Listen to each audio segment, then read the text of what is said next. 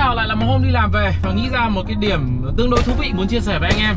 Dạo gần đây tôi có xem một vài bộ phim thì người ta hay mô tả mấy anh em kiểu ờ, dân chơi hay là playboy gì đấy trong phim ấy.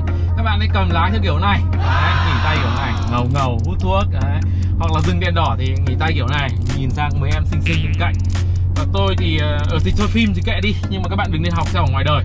Vì ra cầm như này ấy, nghỉ tay trên vô lăng như này ấy, là một kiểu nghỉ tay dạng Tại vì các bạn hoàn toàn để cho cái phần bên trong tay của mình tiếp xúc với khu vực, tạo ra sát thương của túi khí.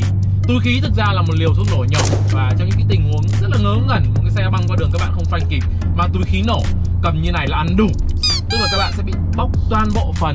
Người ta có một cái cái cái cái chấn thương ở tiếng anh, tôi quên mất rồi, gọi là chấn thương lột da. Các bạn sẽ bị lột sạch phần da ở đây vì cái liều thuốc nổ ở túi khí vậy thì ờ, rất đơn giản thôi các bạn sẽ thấy cái cách cầm.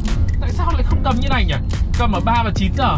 Những xe có vệ tì tay các bạn cầm như này nó rất là thuận lợi. Không phải tự dưng mà người ta tạo ra những cái khe để chúng ta bám tay vào đây. Vị trí 3 và 9 giờ này cho phép các bạn nghỉ tay một cách thoải mái không bị căng vai lái được tương đối và đặc biệt là cái cổ tay của chúng ta nó rất là linh hoạt. Các bạn có thể điều khiển được uh, gọi là ra tay cứu tình huống rất là thuận. Ngoài ra thì các bạn để tay ở đây cũng dễ đưa tay ra điều khiển các cái phím bên cạnh nữa sau đó thì ờ, với những xe mà không có bệ tì tay thì tôi cho rằng vị trí dưới này là tạm chấp nhận được. Nó cũng hơi vướng một xíu, nhưng mà dù sao thì các bạn cũng đỡ bị mỏi vai này và cũng điều khiển được cái vô lăng tương đối. Vị trí khác, các bạn có thể tìm tới với 10 và 2 giờ. Ở vị trí này thì ờ, vai sẽ hơi căng, nhưng đây là vị trí mang tới cho chúng ta cái mức độ linh hoạt cao nhất, cứu tình huống dễ nhất. Và như vậy nhé đừng học theo phim phim làm cho đẹp thôi.